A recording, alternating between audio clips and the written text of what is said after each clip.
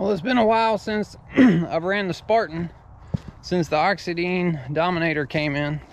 So I decided to go ahead and grab the Spartan and bring it out here for a rip. I felt like it needed some love. So I've got some uh, 6500 milliamp um, 150C SMC battery packs in it. I've since I have put the RC Boat Bits um, trim tabs on, I really haven't tested it. And I've got the Oxidean, that is a 45 mil by 1.4 pitch. So right now we've got the Leopard motor in it. And um, I thought instead of trying big props, I wanted to try smaller props to see if I could get the RPMs up.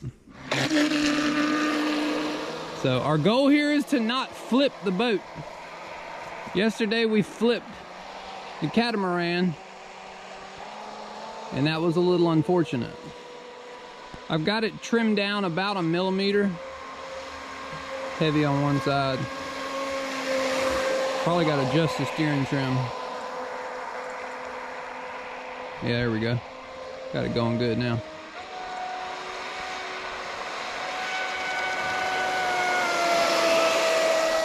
It's probably running too wet. I just, I didn't want to risk it.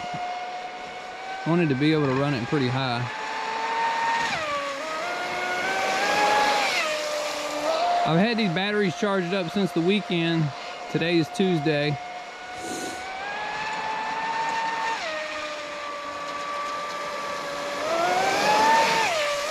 That's a small prop, so maybe I don't have to worry as much about um, like bringing the front end up with the bigger props.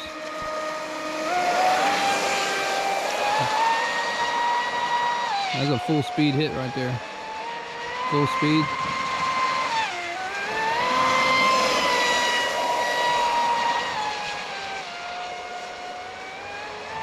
Full speed.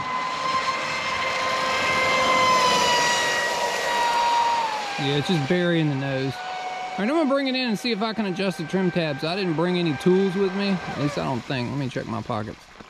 I don't think I brought any Allen wrenches with me out here to the pond. All right, I'm gonna see if I can I can force them up a little.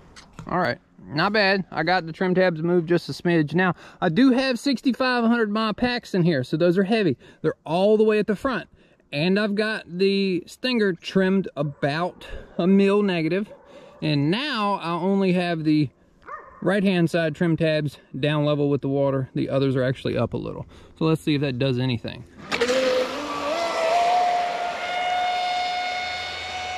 oh yeah a lot better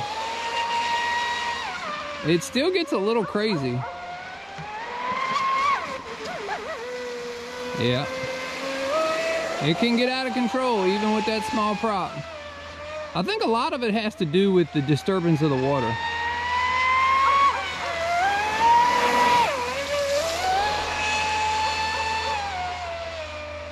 Do a full speed rip here. I do not want to go get the canoe today. I do not want to get the canoe today. That is, I will not be having fun. That is about half throttle. Do some quick rips. Woo! So see, I actually have negative trim angle on that, on the rear strut. And it's still trying to hop up out of the water. So the trim tabs, the settings of the trim tabs are what are extremely important. And what I, the main adjustment on what I just did was the left-hand side. It's the side that really doesn't affect it much. But I bumped them up and now it's not running as wet as it was before.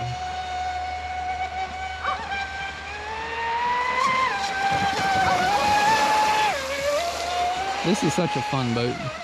I love the deep V on it because it bites and it turns. It looks beautiful. If it wasn't so cold out here, I'd be making adjustments. I do have the GPS inside, so we will be able to see somewhat of a top speed.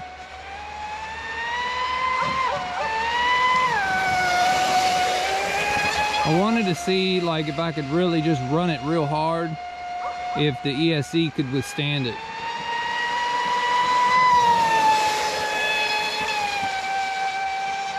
Because what I noticed on my Dominator is when I was thinking, when I thought that the batteries were running down and it was kicking off on a uh, on a low voltage cutout, it wasn't. It was kicking out on a thermal overload. So because the water is so cold here in the wintertime, the heat sink on the top of the motor, when I check it, is showing me one temperature. But I can smell the electronics. So that's what I had figured that out the other day because um, if I let it sit for about five minutes, it would kick back on and run again.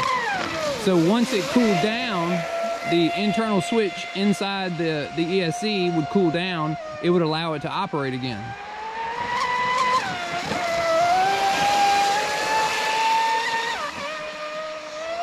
Yeah, the 4514 here is pretty good.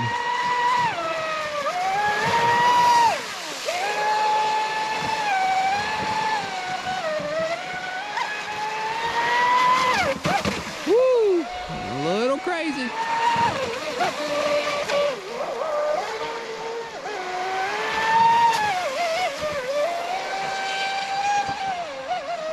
Spartan is such a cool boat. I wish they, wish somebody would make this exact replica in a fiberglass model. I would buy that.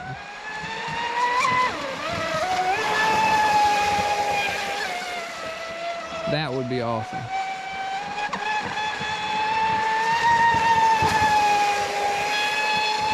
We're getting on with it.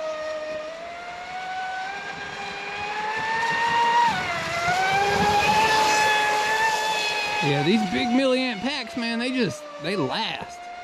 This is seven minutes of runtime here so far. Woo. Full trigger. Oh, there it is. Low voltage cutoff. Okay. Either that or it overheated. Let's see. Yep, low voltage. Good deal. Not bad. All right. We'll go ahead and check temps. Cool, no smoke. I was so used to smoke from the uh, from the catamaran. Let's see. Wow, 81, no problem at all. All right, I wanted to see this because I had made these jumpers. Okay, 125. These are 6.5 mil. And then these are probably pretty hot. Yeah, 152. That's where it reduces from 6.5 down to 6 mil. Batteries, 100 degrees, beautiful. Let's see what the old Leopard motor is. Not bad at all. Not bad at all. Not even a 100. Capacitors. These capacitors. Okay, not bad. Hey, and look. we got 51 miles an hour here in the tiny little pond. That ain't bad. I'm pretty happy with 51 miles an hour. You know? Um, so yeah, I've got the 150C SMCs. These are the 6500s. And I want to show you um, see if you can tell the strut angle. I'm holding the boat pretty much straight up and down, and I've got about a mil and a half of downward angle on it. So I was doing a lot of research, and see, this, this is what I mean by I was able to knock one of the, the trim tabs up. So if you look at the outer, the outer is pretty much level with the bottom of the boat, right? But the inner, I, I knocked it up. And I was able to knock these up a little bit. Almost, they're a little bit below hull line. I'm gonna say they're they're a mill and a half below the hull line, and uh, I was trying to compensate for the torque roll. But um, I was watching another video on a Spartan, and um, he was talking about the the prop and where the strut exits the back of the boat, how low it is. And when the when it gets up on the prop, the strut is so low, there's not much of the keel of the boat in the water. So the boat, if it's not balanced like 100% perfectly inside, that's what makes it start to do the chine walk. So what they say is if you bring the strut up, like literally drill the hole in the back of the hull and move your stuffing tube up, that will lower the keel of the boat. It'll keep the hull of the boat in the water more And then they say if you move it over about two to three mil towards the right, that will help compensate for the torque roll. It's something a few people I've seen in forums they talk about, they've done. I don't know if I'm going to do it. With the number of boats that I have now, I don't really see a problem or an issue with doing it that way. But 51 miles an hour, I'm pretty satisfied with this thing. You know, um, if I was able to just hold it down, I could probably get a lot faster. But it starts to get crazy out of control. So short of putting some like three inch TFL like trim tabs on it that shoot them way out the back and extend the rudder, you know, I think the rudder needs to be about another two inches longer, deeper in the water. There's a whole lot of things you'd have to change to try to get this thing to be stable at that speed. But, you know, you can't move the batteries any further forward. They're, they're maxed out. And I've got big packs in it right now to see if it would help that situation. But other than that, that was a pretty good run. It's uh, starting, the sun's starting to go down. So I'm gonna go ahead. My dog is in the background. She's going crazy. She hears me out here talking. He's like, who are you talking to? Who are you talking to? Well, thank y'all for hanging out with me this evening. I got off work, wanted to run the boat, and uh, I got to do it. So thank y'all for watching. If you're not subscribed, please hit that subscribe button. And uh, be sure to give the video a thumbs up before you leave. Peace out.